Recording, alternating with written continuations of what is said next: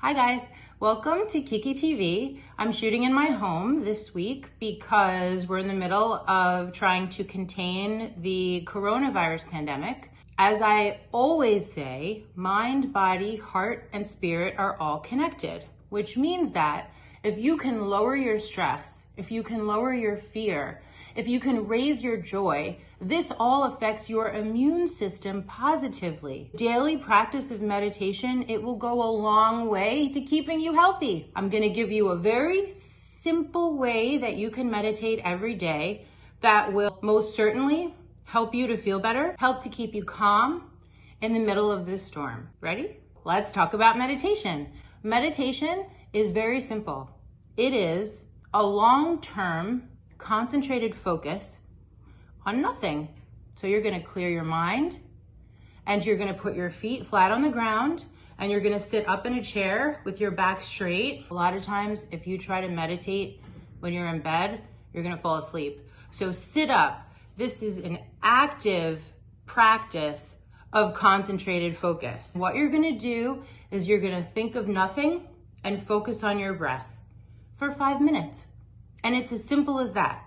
Then when things come into your mind, which they absolutely will, oh my gosh, the news said, oh my gosh, is my mom okay? I wonder how my friend is. All these things, you gently and non judgmentally push those out of your mind and you go back to focusing on your breath with a clear mind. And then more things will come in. The mind is always busy.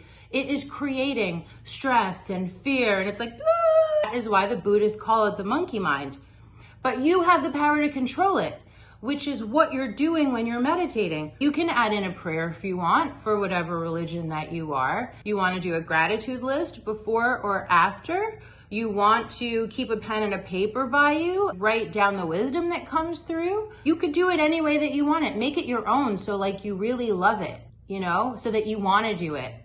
In the middle of the day, in this kind of worldwide crisis, you can stop and reconnect to your inner self. It's just peace. It's it's peace. And and the main thing that we're trying to do here is get you to relax, get your nervous system to calm down, get you to fill your heart and your soul with peace. Because that is how you get through a storm. You don't get through a storm by being all ah! you want to get through a crisis with grace and with ease and with peace and thinking of other people and thinking outside of yourself. Five minutes. You cannot do it wrong. It is not easy. That's why not everyone meditates. It is very difficult to sit and face your own emotions and face your own thoughts and face your own fears. Unconscious people, they have a thought, they act on it.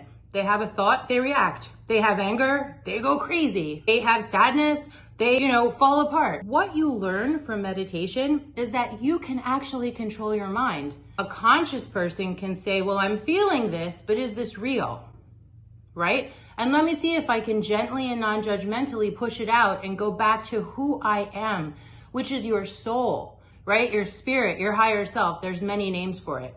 But that is the thing that's watching your mind. So that saying that says, I think, therefore I am, wrong. It's I can watch my thinking, therefore I am.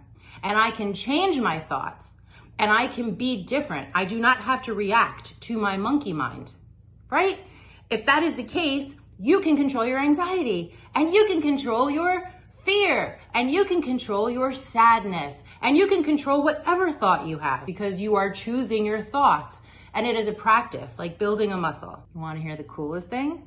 What starts happening once you hit like your stride in meditation, higher power or universe or God, whatever you believe that higher wisdom is, it starts coming through. I often meditate with like a pad next to me and write things down because the wisdom that comes through is so awesome and so clearly beyond me because you are connecting to your own higher self and then your higher power when you're sitting quiet and you're focusing on your breath and you are focusing on clearing your mind. Every day, five minutes in the morning and five minutes at night, you're going to sit with your feet flat on the floor, your back straight, you're gonna clear your mind, you're gonna focus on your breath for five minutes. And if you have a thought or a fear or an anxiety or some sadness or a memory or whatever it is, what are you gonna do?